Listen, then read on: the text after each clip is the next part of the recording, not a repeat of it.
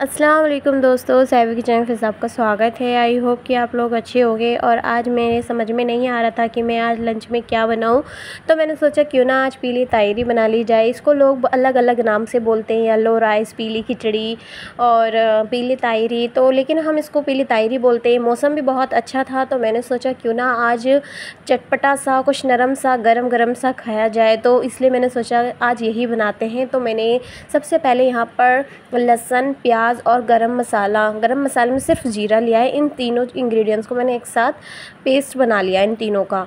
फिर इसके बाद मैंने यहाँ पर प्याज, हरी मिर्च और टमाटर लिया है। फिर यहाँ पर मैंने आलू कट कर लिए हैं। आप मनचाहा आलू कट कर सकते हैं। मैंने बड़े बड़े किए थे। और यहाँ मैंने बासमती चावल लिए हैं, जिसको मैंने भिगो के रख दिए हैं 10 से 15 मिनट के लिए। फिर यहाँ मैं प्रेशर कुकर में बनाऊँगी, क्योंकि मैं ज़्यादातर राइस किसी भी तरह के बनाती हूँ तो मैं प्रेशर कुकर में ही बनाती हूँ। इससे जल्दी भी बन जाते हैं और टेस्ट भी अच्छा ही आता है। फिर उसके बाद मैंने सबसे पहले यहाँ प्रेशर कुकर में डाला ऑयल रिफाइंड जो भी आपको ठीक लगे। फिर मैंने उसके बाद डाला यहाँ प्याज। प्याज को आपको अच्छे से ब्राउन करना है।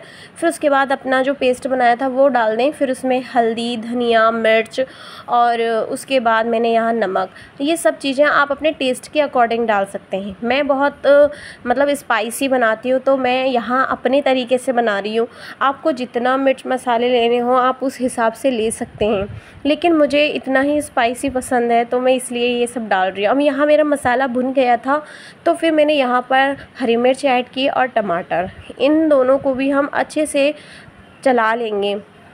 प्लीज़ गाइस, मेरे चैनल को सब्सक्राइब करना मत भूलना, मेरी वीडियो अच्छी लगे तो लाइक करना और मुझे सपोर्ट करें। और मेरे बारे में आप और भी कुछ जानना चाहते हैं तो मैं आपके साथ शेयर करूँगी। तो प्लीज़ मेरे चैनल को सब्सक्राइब करें और वीडियो को लाइक करें। फिर उसके बाद यहाँ मैंने डाल दिया है आलू। आपका जब वो अच्छे से हो जाए, उसके बाद आप आलू डाल दें और आलू को भी आपको मसाले के साथ अच्छे से भून लेना है, क्योंकि आलू के अंदर भी बहुत अच्छा टेस्ट आ जाता है। क्योंकि जब हम आलू खाएँगे तो बहुत बढ़िया लगते हैं। फिर उसके बाद मैंने पानी ले लिया, यहाँ डाल दिया है। उसके बाद नमक टेस्ट के अकॉर्डिंग जब हमारा पानी यहाँ पर उबाल आ जाए हमारे पानी में, फिर यहाँ हम कर देंगे अपने चावलों को ऐड। तो यहाँ चावल ऐड कर देंगे, उसके बाद हम यहाँ पर दो सीटियाँ आने देंगे।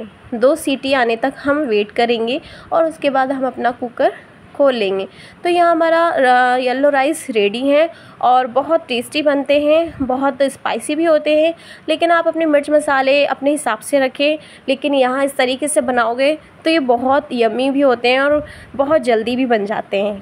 Thanks for watching